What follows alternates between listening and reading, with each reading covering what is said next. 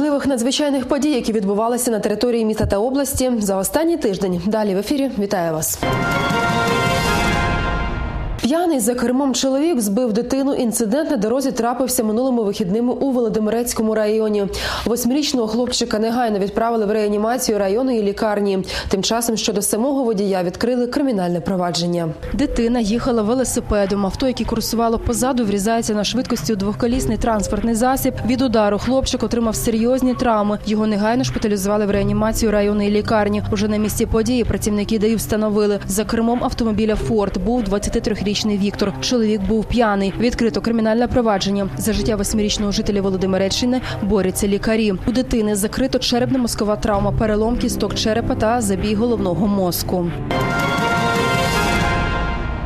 Рівному місцевий житель хотів обікрасти орендовану квартиру, де живуть студенти, та судилося йому потрапити на лаву підсудних. Адже молоді хлопці затримали крадія на гарячому та передали в руки правоохоронців. Злочин скоєний в одній із п'яти поверхівок на вулиці Степана Бандери. Пізно вночі мешканці орендованої квартири поверталися з відпочинку, як помітила біля вхідних дверей незнайомця. От він якось отвертки двері відкрив, і він зрозумів, що це якийсь левий. Бо він пройшовся по кімнатах, глянув, нікого нема. І просто-напросто затримав його.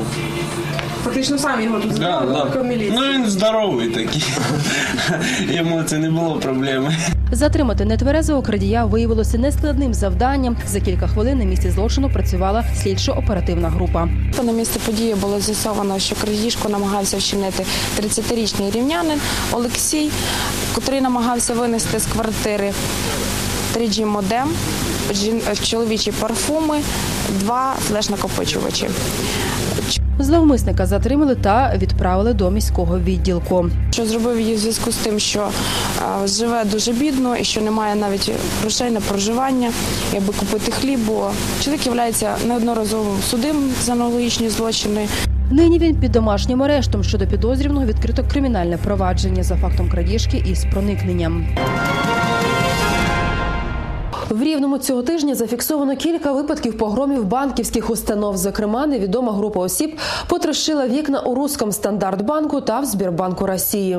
У міліції не виключає до цих інцидентів можуть бути причетні учасники однієї ж і тієї групи. Потерпілі заявляли про трьох невідомих осіб. В одному випадку люди працювали в масках. В Русском Стандартбанку пошкоджені вікна, готівки та інших грошових цінностей не брали. Повідомили про те, що банку Руський стандарт, що на вулиці Київській, пошкоджені вікна. Виїздом слідчо оперативної групи на місце події було встановлено, що в проміжок часу від першої години до другої години ночі троє невідомих осіб в масках пошкодили вікна в банківській установі та зняли дві зовнішні камери відеоспостереження. Наразі по даному факту відкрито кримінальне провадження за частиною першої статті 185 Кримінального кодексу України крадіжка. Майже за схожим сценарієм попрацювали в Збірбанкі Росії. До речі, цю фінустанову вже не вперше за останні два місяці навмисно б'ють. Близько першої години ночі надійшло повідомлення від рівнянина, котрий повідомив про те, що по вулиці Соборний, 67, троє невідомих осіб пошкодили вікна в банку Збербанк Росії. За двома фактами відкриті кримінальні провадження. Пошуки осіб, причетних до умисного пошкодження майна та крадіжки відеотехніки, тривають.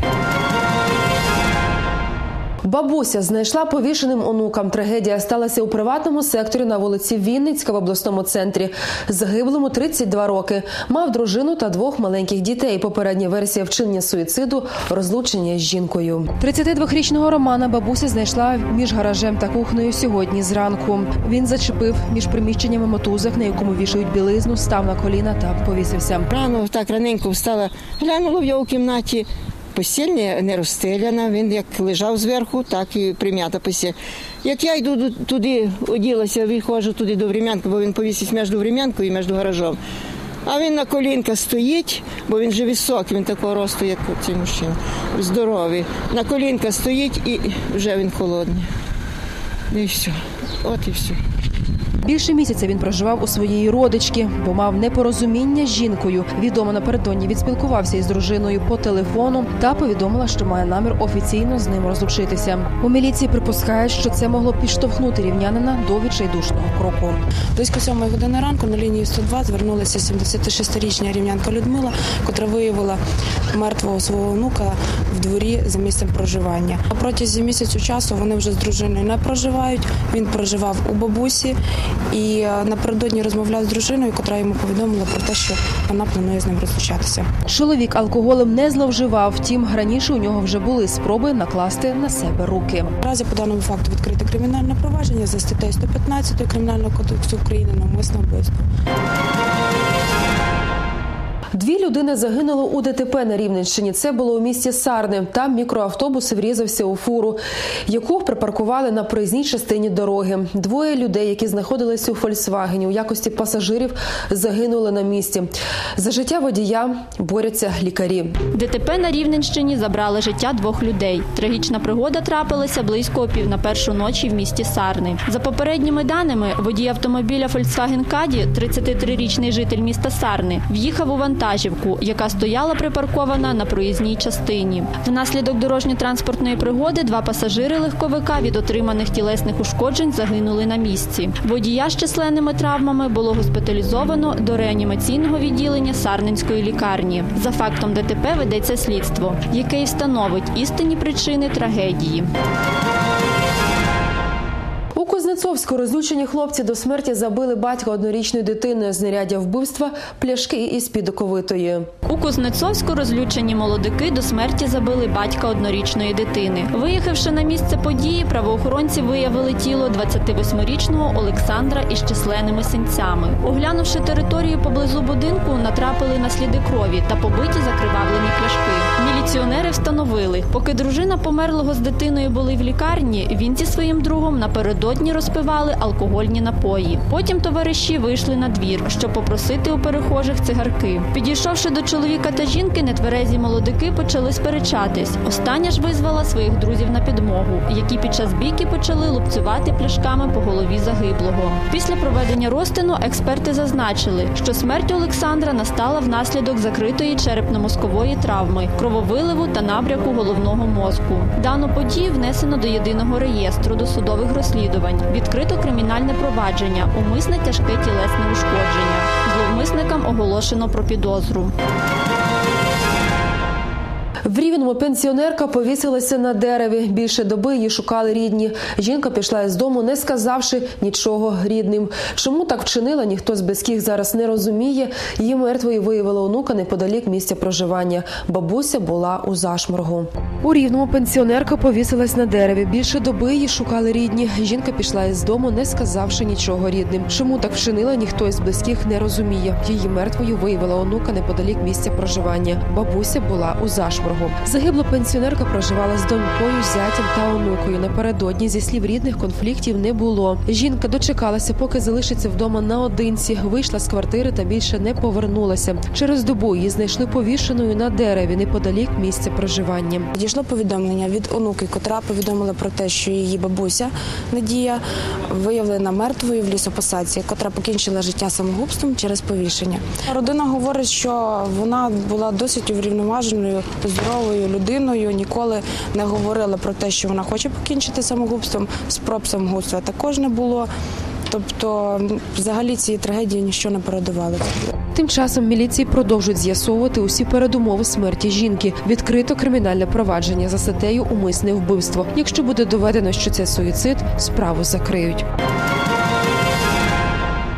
Міліціонери вчать добровольців рукопашному бою та будові вогнепальної зброї. Другий місяць вулиці обласного центру патрулюють правоохоронці спільно з добровольцями із народу.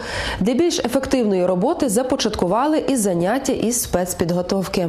На сьогодні в рівному налічується більше 50 людей, які зголосилися патрулювати порядок в рівному спільно з міліціонерами. Аби при затриманні злочинців не виникало труднощів у людей непідготовлених. Правоохоронці вирішили їх навчити азам основам рукопашного бою та побудові вогнепальної зброї, пістолета Макарова та автомата Калашникова. Кожен патруль, що охороняє громадський правопорядок, складається з двох міліціонерів та двох добровольців. У кожного наряду свій маршрут патрулювання. Керівництво ОМВС визнає переваги такої співпраці, тому запрошує усіх бажаючих і надалі вступати до громадських формувань та бути готовим до захисту держави. Проведені інструктаж е, з добровольцями, які хочуть вступити до громадського формування і в подальшому будуть нести службу з патрульно-постової служби в місті Рівне.